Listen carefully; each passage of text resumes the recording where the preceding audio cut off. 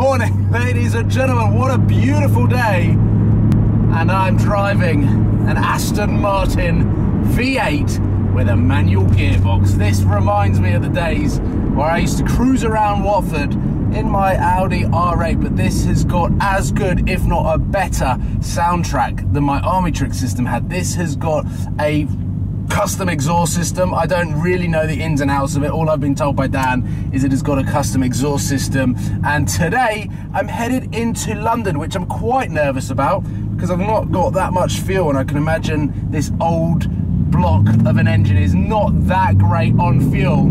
It's a bit of a beast to manhandle, so it's going to be a lot of fun heading into London. I've got a meeting before I meet up with the guys at Dub Customs, drop this car back, and then hopefully I'll be able to collect my C63 AMG pristine with no damage to the front bumper whatsoever, but also the dechrome, which is the all-important dechrome. And as I was editing my video with Adam yesterday, if you haven't seen that video, then I will leave a link in the description, or it'll probably be one of the recommended videos. Nonetheless, he mentioned that he was tempted to get bronze wheels for his C63.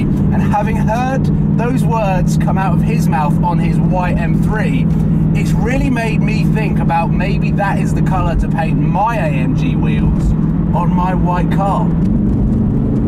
Actually put the window down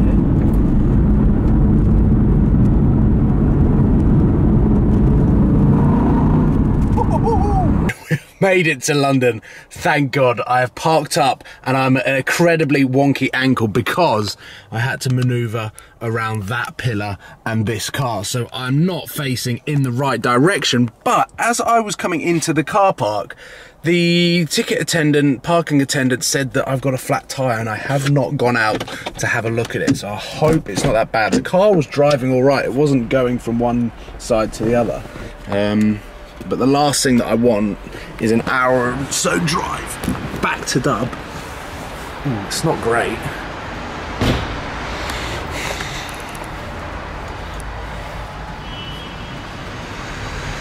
Ah, it's, it's not great, but that's my angle.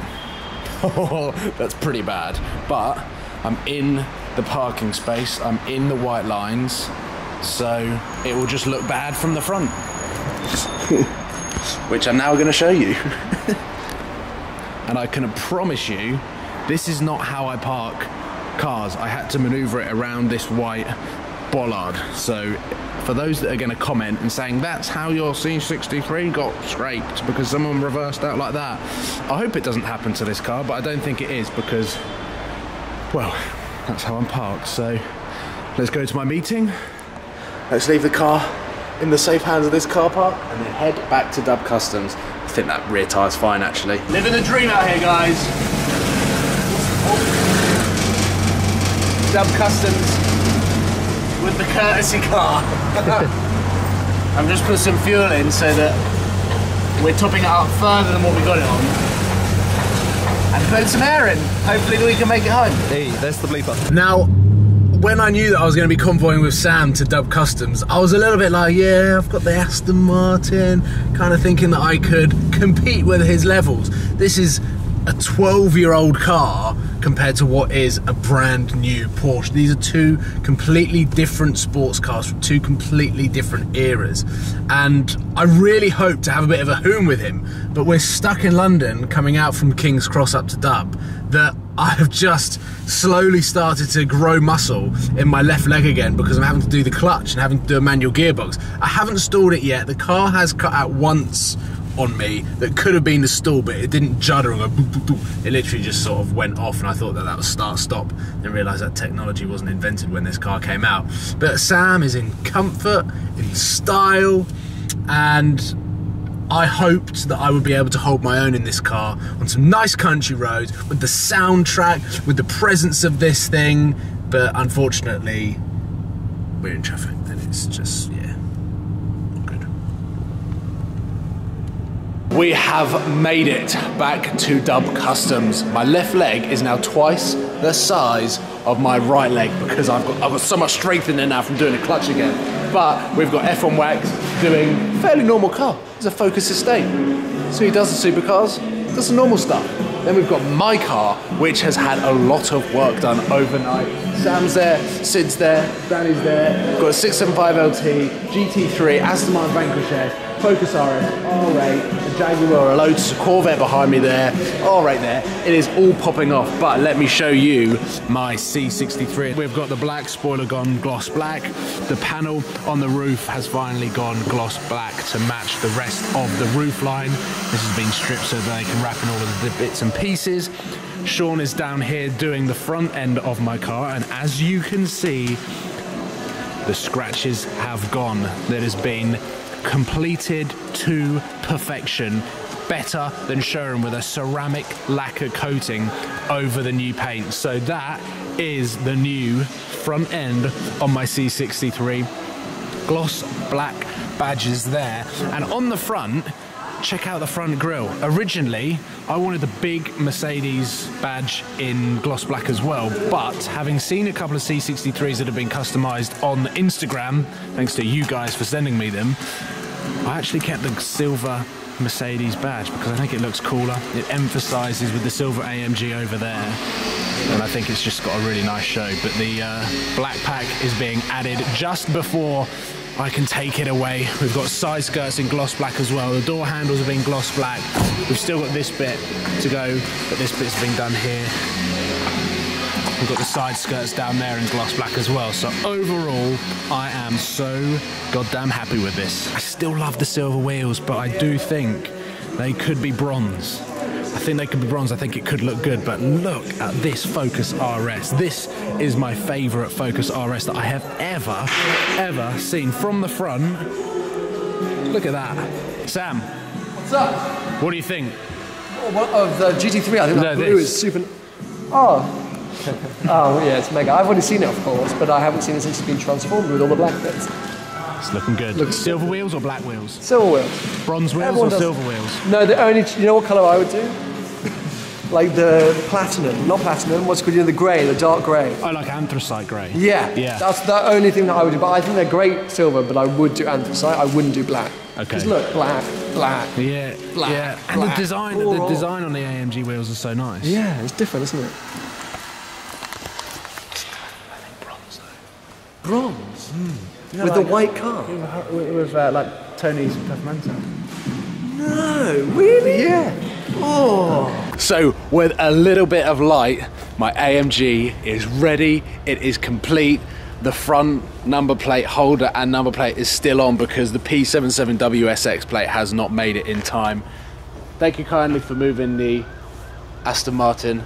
Let's get a start up of it so you can hear it from the outside.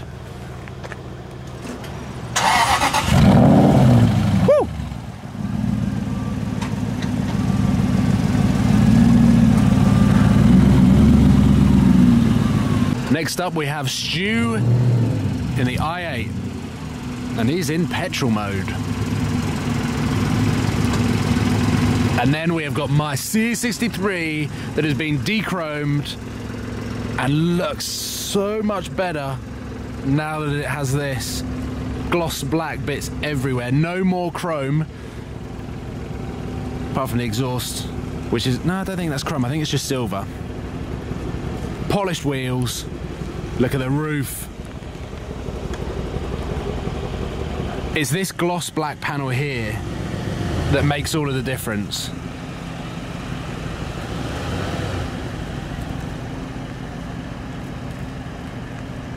we have got there in the end after a little scuff that was down there that literally you cannot see now. It is incredible to see the transformation of this car over the last 24 hours. I'm blown away with the level of quality that is on the wrap, but also on that repair that lit- ruined my day yesterday, and I still felt gutted about it today as I was driving the Aston Martin. That was the silver lining in this whole situation. I got to experience that car, which was just incredible to have a manual gearbox and that awesome soundtrack. A little bit heavy on the steering, the clutch and the gearbox was just an experience. It's the best way to describe it, but it did remind me of just like a Murcielago, just an old car that it's got its own character. But now, go away, Sid! Go away! but now, look, ah, I'm so glad that we kept the Mercedes badge silver that matches the AMG. It still gives it a mean aggressive look with the gloss black bit here. And then that panel down there makes a huge difference. The next thing to go is the number plate, which will change in due course. The wheels are still the same. We've got black badges here, dechrome around the windows and on the door handles. This side skirt makes a world of difference down the side. It splits up the white, and now this car looks as aggressive as it was supposed to do from the factory. It doesn't look like an S-Class executive anymore. This looks like a C63, and look at that roof, baby. The roof looks so good now. And then at the back, we've got the little tiny black ducktail and the black Mercedes badge. So we are all good, we are finished. We have collected the car finally and it looks so good. And now I get to drive back this weekend I am moving in officially to the apartment, so this is going to be sitting proudly on the drive. The next modifications to come to this car are the springs and spacers. So I'm going to leave the stock wheels, but have it sit how it's supposed to sit, and there's going to be a lot more information on why I am doing springs in that video when the modification happens, because I was so against suspension on my BMW M3, but for some reason I decided that I was going to do it to this car, but there is reasoning behind it. So ladies and gentlemen, thank you so much Dub Customs Customs. It has been a pleasure to come here for the last 24 hours and drive that car, but have this car all fixed and ready to go. And I'm happy again. So, ladies and gentlemen, thank you for watching. Please give it a thumbs up. Let me know in the comments on what colour you want to see the wheels, what colour you want to see the car, because they are probably going to be the next modifications after the suspension. I'm getting a little bit ahead of myself, but one thing you might notice. Cảm ơn các bạn đã theo dõi. Các bạn hãy bấm like, comment và hãy bấm nút đăng ký để ủng hộ cho kênh mình nha.